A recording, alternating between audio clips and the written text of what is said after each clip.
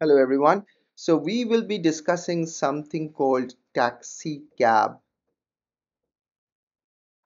metric and we will use it use a problem from IOQM 2021 to understand what it means and how to solve problems using that. So this problem is problem number 27 and the final answer is 87 if you are just here for the answer.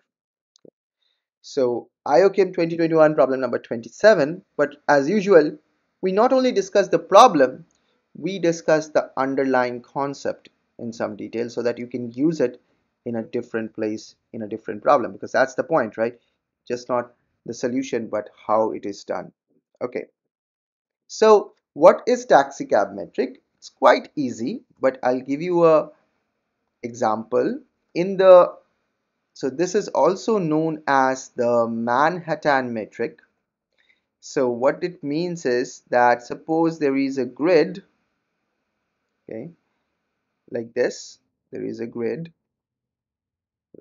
Now if you are positioned here so you have to think of these things as roads okay these are the roads and this is where the houses are.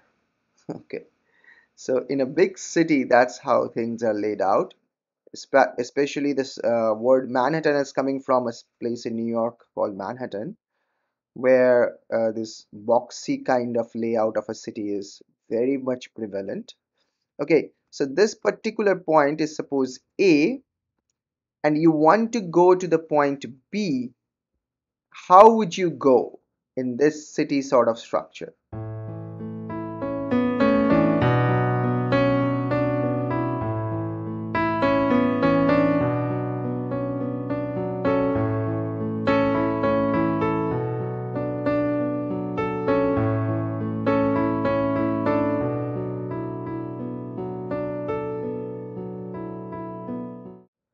So what you will do is you will actually just walk along the roads. You cannot directly go from A to B, right?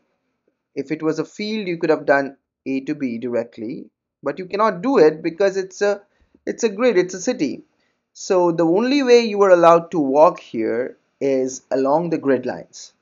In other words, you can go left and right, so right or left or you could go up or down right or left up or down right? So uh, for example what you could do is you could go from a to this point then this point then this point then this point. So you have like four steps here four steps. So using four steps you can reach from a to b. If you want you could do something really stupid. For example you could take some more time. So you could go from here to here to here. Then for no reason you could go here and then here and then here. So this so one step two step three step four step five steps take six steps. So you could do this from a to b in six steps as well. You couldn't you could have done it for shorter number of uh, smaller number of steps but you could want to just wander around a little bit so the distance between a to b in this way in this particular system is 4 so distance from a to b is 4 why? Because in this man manner if you want to go from a to b and if you're not allowed to go diagonally the shortest now smallest number of steps you have to take is 4 you cannot do it less than 4 so the distance is 4 but you could take 6 steps and so on. You could wander around a little bit okay? So that's what the taxi cab metric is all about. And I'll suggest a book. This is a book uh, named as uh, taxi cab geometry. It has many beautiful problems related to it. And I think it's from Dover. The name of the publication is Dover. You should definitely go ahead and check it out okay now let's come to the problem number 27 from IOQM uh, 2021 because that's what we are going to do. So there is a point which is a which is negative 3 comma 2 and there is another point b which is 3 comma negative 2 okay? So basically we have one two three four. So yeah. So you have this zero mark of course. So maybe I can make a little bit more space to make it more understandable. So this point is the one.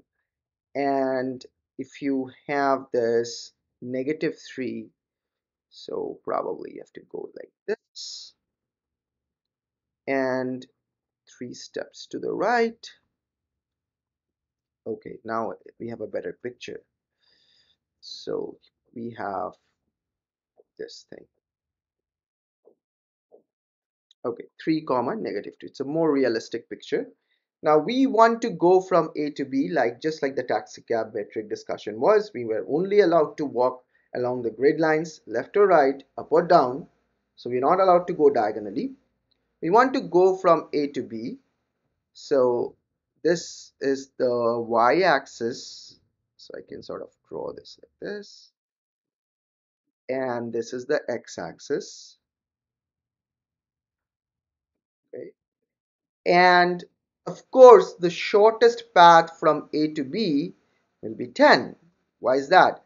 Okay. You could go like this. One step two step three step four step five step six step seven step eight step 9 and 10 so of course this is not the only way you can do this but I mean you could have you could have gone right like this and then gone down but that's also 10 steps okay? So the the shortest path is 10 steps but the problem says you are allowed to wander around a little bit. So the length of the distance traveled that so let me just write it here actually so the distance traveled is less than equal to 14. So you can do take whatever path you want. You can take whatever path you want, but the distance traveled should be less than equal to 14. So there will be many paths like this. There will be many paths like this. The question is how many lattice points, how many points with integer coordinates will be on at least one of these paths. So I'll write that down. How many points, how many points with integer coordinates, with integer coordinates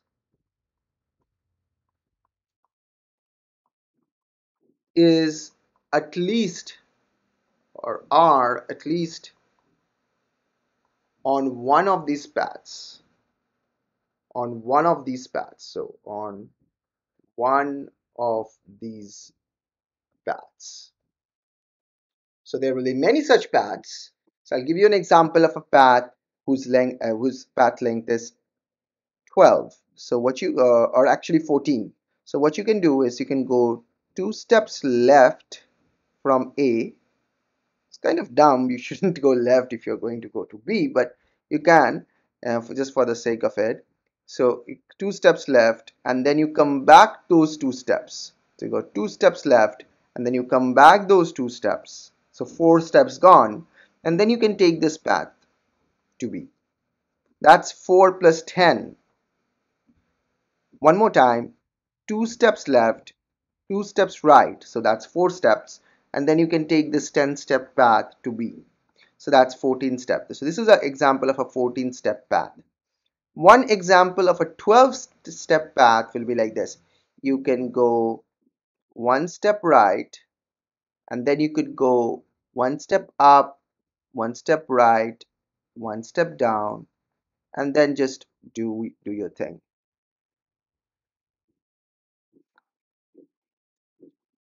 so this particular path will be 12 steps long this green one.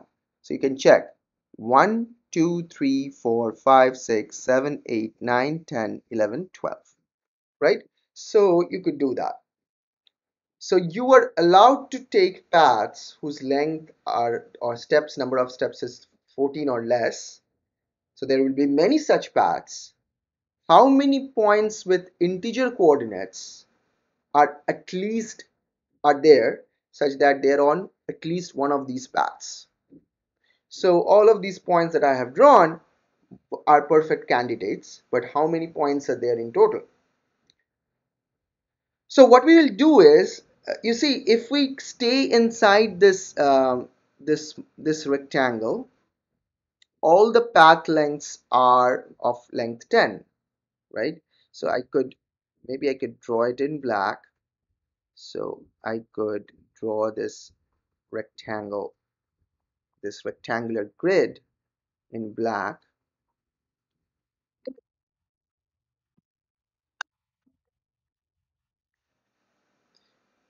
I'll draw this rectangular grid in black.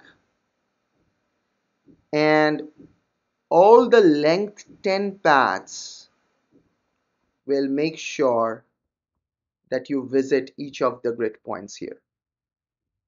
Okay.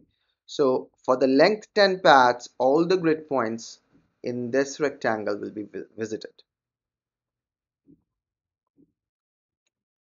But what about the length 12 and the length 14 ones? So we'll take a hint from this example. My advisor used to tell this is a Chekhov's gun so I you show an example which is sort of just an example at the beginning and then you actually use it in the proof and show and tell that okay this is the typical case. So so this particular um, step this is the this is basically what could happen for a 14 length path. So what you do is you take a larger grid which is basically two steps up. So I'll use a different color actually just to make sure we understand this.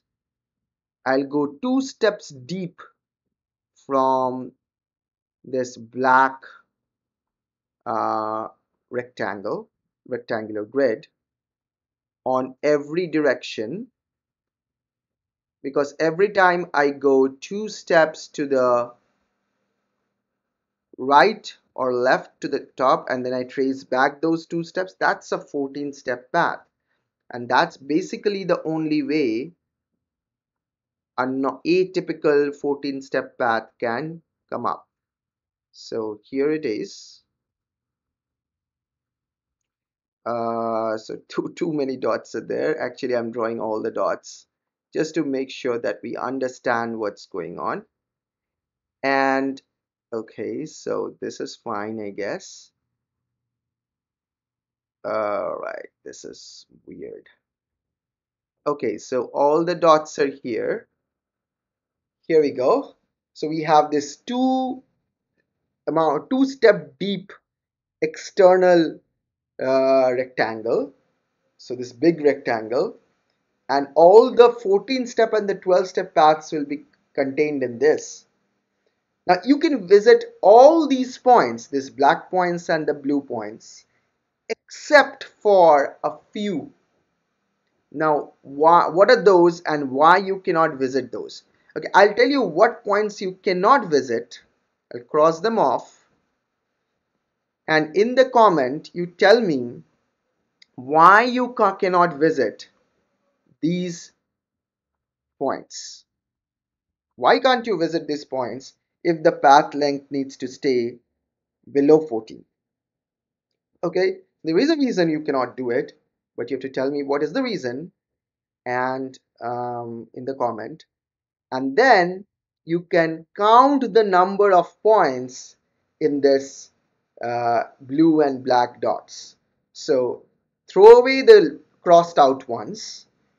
There are 9 times 11 dots in this large grid. Why? Because there are 1, 2, 3, 4, 5, 6, 7, 8, 9 horizontals and 1, 2, 3, 4, 5, 6, 7, 8, 9, 10, 11 verticals. So 11 times 9 is 99 and you are throwing away the 12 extra points. So which we cannot reach. So minus 12, that's the final answer. But tell me in the comment why you cannot reach those why you cannot reach those crossed out points and uh, what is the final answer? You make the computation give the final answer in the chat. I've already given to you but nevertheless. So uh, keep on doing great mathematics. Put look at the link in the description for other IOQM problems and more exciting problems and I'll see you in the next one